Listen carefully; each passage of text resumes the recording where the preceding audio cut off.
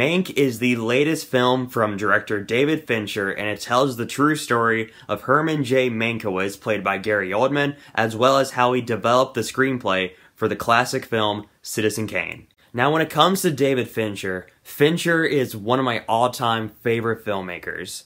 David Fincher has directed some of my favorite movies of all time. Fight Club, Seven, The Social Network, Gone Girl, Zodiac, they're all amazing films. So I was really curious in checking out Mank because not only is it a David Fincher film, but it tells the story of how Citizen Kane was developed as well as the story of the writer Herman J. Mankiewicz. So after watching Mank, I can finally say I liked it but I didn't quite love it.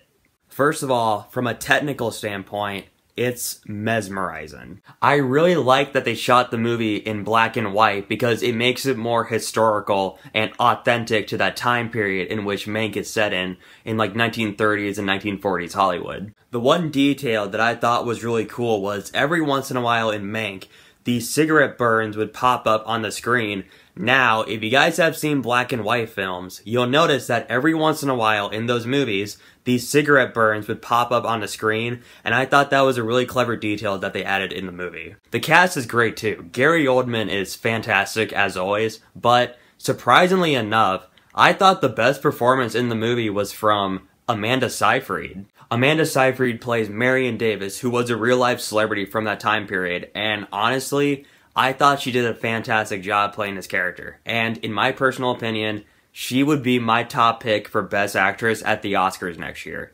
Mank is also a very politics heavy film because the movie is set during a time in which Hollywood, at one point, used to be very conservative and Republican. And the movie also focuses on Mankiewicz's political views and how he was a socialist and a communist.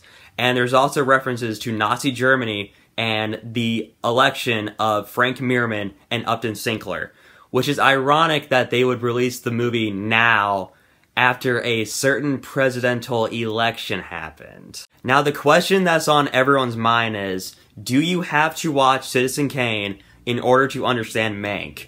My answer would be yes. I have seen Citizen Kane twice in my life, and the parallels to Kane within Mank are not exactly obvious. They will take a while for you to understand.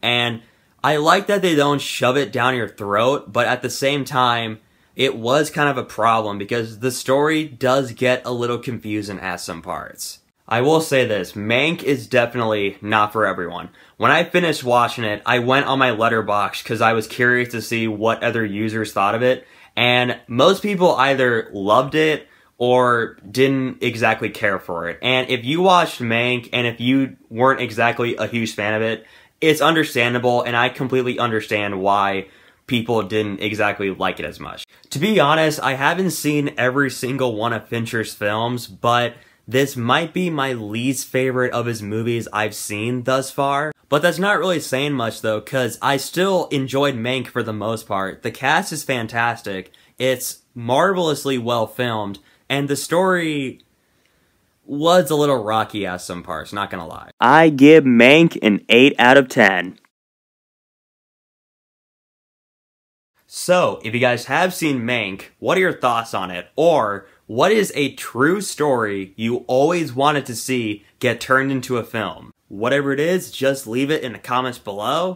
And if you want to see more of my videos, just be sure to hit that like button and subscribe for more great content.